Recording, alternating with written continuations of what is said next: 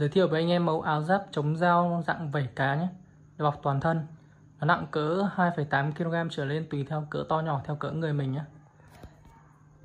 Dạng này là có cổ áo và phần cổ có lớp giáp mềm Còn phần dưới thân này nó sẽ là lớp giáp vảy cá bằng inox như này. Rất là dày dặn nhé. Nó sẽ bố trí toàn thân như vậy Đảm bảo cho việc an toàn cho cơ thể nhé.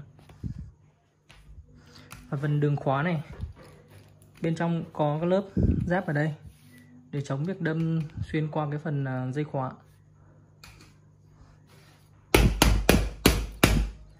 Rất an toàn nhé. Cái này bạn có thể mặc bên trong ngụy trang được.